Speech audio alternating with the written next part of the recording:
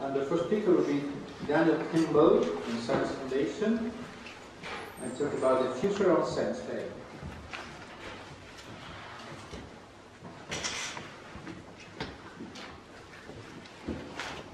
All right, well, hello everyone. Um, I hope you all are enjoying the conference so far. This conference is, of course, held by the SENS Foundation, and you all might be wondering what else the SENS Foundation does. Well, there are a few things. Uh, we fund extramural research at universities across the country, well, the United States, and also across the world. And we do in-house research at the SENS Foundation Research Center in Mountain View, California. Actually, uh, later today, Matthew O'Connor will be giving a talk about the bioscience work that's going on in California right now. So that'll be exciting, but that's not what I'm here to talk about. I'm here to talk about a small program that the SENS Foundation operates called the Academic Initiative. So today I'm going to tell you all, well specifically, what the Academic Initiative is, and also the new direction we're moving in, and our new mission, sort of consistent with that direction. And I'll tell you specifically about some of our students, just to give you a better idea of who's actually involved with the Academic Initiative. Then I'll tell you all about the group of those students formed, and finally how you yourselves can become involved with the initiative if you'd like to, because it's entirely possible that you will want that. All right, so historically, the Academic Initiative has been all about developing students. Um, its purpose has been to find students, often college undergraduates or graduate students, who are interested in doing science research, and to give them ideas for projects, and provide them with mentorship on those projects, and sometimes to give them funding, either in the form of a merit-based scholarship that will sort of reward our best students, or in the form of a materials grant that will specifically uh, pay for laboratory materials to enable projects to happen. Um, those are all sort of important tools, and those are the main things that we've done in the past. It's all been about developing researchers, sort of finding the next generation of SENS researchers, and enabling them to become actual career researchers. Um, we are changing somewhat though. See, all of those old things are still happening, but we're also branching out in a couple of new directions. So uh, those are specifically outreach and education. But before I talk much about that, I'll tell you all, well, a couple of main things. First of all, we're going to be updating our website shortly. That's going to be pretty comprehensive and pretty fundamental to what we do in the future. But also, even more importantly than that, we're going to start developing an online course. Uh, a brief summer length, 12 or 13 lecture long, sort of introduction to rejuvenation biotechnologies. The whole point of that will be to teach students to think of aging as the gradual and feasibly reversible accumulation of damage. And that'll be a pretty fundamental part of what we do because that'll let us educate students, anyone who's interested really in taking that course freely available on our website, and also even interested lay people who would like to get involved with that. It'll be open to them also. So that's one of the most important things we'll be working on in the coming months. But to give you all more detail on our general mission, I talked about research already, the sort of idea of funding students, giving them ideas, and giving them mentorship in order to develop them into career SENS researchers. But we don't just want to have our students doing research projects. We'd like to develop them a little more fully than that. So we'd like to help them become actual advocates of both the SENS Foundation and of the Academic Initiative. So to make that happen, we're going to make outreach projects available. So in addition to research projects, there will be outreach projects. And in addition to mentoring on research, there will be mentoring on outreach. Those outreach projects will be pretty straightforward. Uh, simple things like having a template for flyers on our website that students can print off and distribute around their university, or outlines for talks that students can give. Uh, that'll enable them to take pretty small steps towards spreading the word, both about what we do and about what they themselves are working on. Um, so there's research, there's outreach, and then there's education. I talked about the coursework earlier. That'll be the main component of our educational work. But um, the sort of whole point of that is to make sure that our students understand fundamentally what SENS is, which is largely damage repair, and to help them tell other people about that. All right, so I've told you generally what the academic initiative is, what it's been doing, and what it's going to do. But it's not some sort of amorphous idea. It's specifically people who are involved with the academic initiative who make it exist. So one of our students is Adiv Johnson. He's a first year graduate student at the University of Arizona, working towards his PhD. Um, he's actually been interested in SENS since he was a high school student. When he was in high school, he lost a knuckle to aging and sort of thought about how, you know, science has conquered diseases in the past, and he wondered what science could do about aging. He did some Google searches, found out about Aubrey, and then he's been following Aubrey's work and SENS in general ever since then. So when he started college as an undergraduate, he decided to study biology, and he started up on a project doing caloric restriction in mosquitoes. Uh, that led to a publication which he was on. And after that, just as he was starting his graduate studies, he did another project on mosquitoes, which was more his own.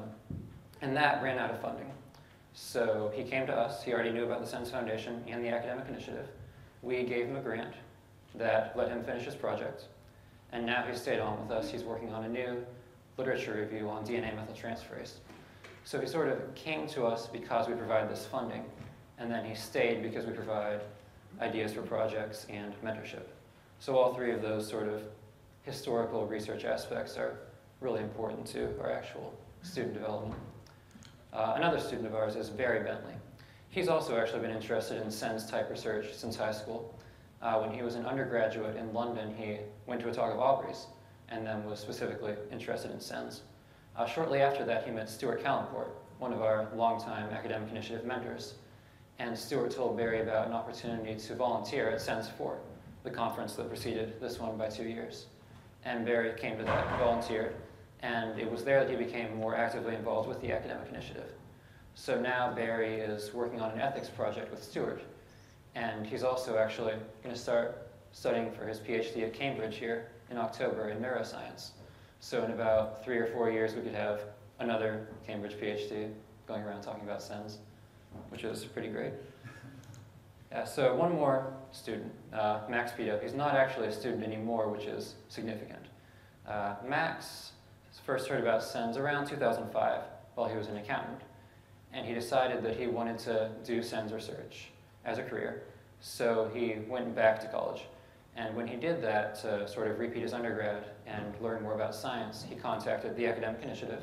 Uh, he took up one of our project ideas for the accumulation of metals in humans. Uh, that ended up being published in Rejuvenation Research. And Aubrey liked it. So now Max works at the SENS Foundation Research Center in California. That was a pretty great progression for an academic initiative student. And then now he's mentoring a couple of our present students on a literature review that they're doing. So we've sort of gone from receiving mentorship to giving it, which is exactly what we want to see in the long term with really all of our students. So, taken together, we have a sort of network of students that we're developing. And it's been pretty successful so far. And we found a good number of talented young people who like life, who want to be a little bit healthier for a little bit longer. And you know, we've seen them actually make progress. We have people working on their PhDs, MDs. A few years down the line, they'll have graduated. They'll be mentoring more students of ours. So it's kind of a long-term game that keeps on going. Um, it's still small though. So we have obviously the people I've pictured up there. Uh, we have an additional about half dozen volunteers and mentors. Uh, we also have a handful more students. Uh, Nick Sham, Francis Kendall, Brian Bucarepa. They're all doing great so far. We have a couple more who joined us just last weekend, actually. But big picture, it's still a small program. And that's where, if you all are interested, you can actually specifically help us. So there are clearly a lot of researchers here. Um, if you have projects that you'd like to involve any academic initiative students on, we'd be very interested in that. That could be something specific and concrete in your lab. It could be a literature review that you're working on now or planning on working on. Uh, any of those things can be really helpful. Also, if you need graduate students or postdocs, we do get people asking us where they can go to study to do sort of SENS-related research. So that would also be great. Uh, prospective donors, obviously, the academic initiative will never say no to your money. Um, there are a lot of ways that we can use it. Uh, our materials grants to make projects like Adiv's second mosquito project actually happen. Uh, merit-based scholarships, Barry got one of our scholarships earlier. Uh, those are both quite important, and we can actually put your name on those if you'd like. Uh, in addition to that, to develop our online coursework, money certainly helps there, and of course marketing to sort of spread the word about what we're doing. We can do that on a larger scale more easily with more funding. Then uh, students also.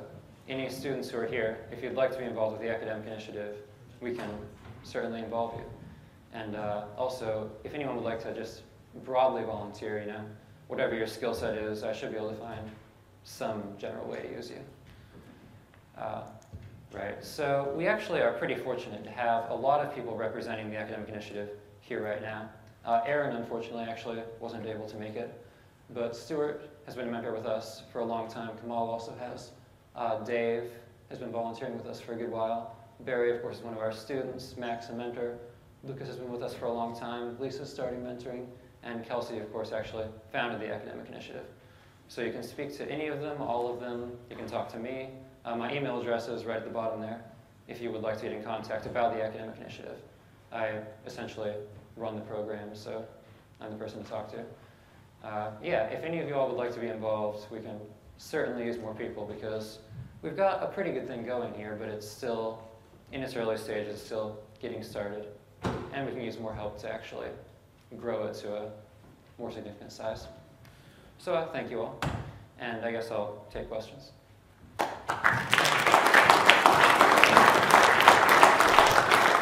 Thank, thank you, Daniel.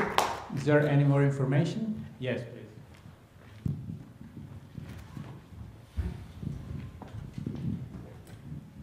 In uh, thinking about the, course that you're talking about providing, I don't know if this is something that you're doing or not, but I was just wondering if you had a, uh, a sort of university affiliation with that course, whether there could be some opportunity there for, for students, at least under the North American system, to use that course for credit transfer, maybe even if it was of a certain standard to their, their science credits. And then I guess that would sort of provide an opportunity to maybe promote and get more people involved at different universities because there'd be that incentive there. Right, that's an important idea. Um, for the coursework, the sort of plan, it's two phases. First of all, we'll make basic lectures with some sense of branding that we can just post on our own website. And then after that, uh, there are universities that do offer accredited online courses, certainly in the US and I guess also to a limited extent in the UK. So we'll sort of tweak our coursework to fit their accreditation requirements, uh, take off the SENS branding, and then we can make those available Yeah. through universities. I for mean, even if I, I don't even think it necessarily needs to have the SENS branding removed, but I think Well- just if, if the universities that I've attended, if I were to try and get that as a, as a, a, a transferred credit, it would probably make them feel more comfortable at doing that, not knowing a lot about it. If it had some sort of university affiliation with it, it would be easier to, to do that. Right, yeah, the affiliation, it would help expose a lot of current college students to it, and certainly to put more faith behind it. Any other?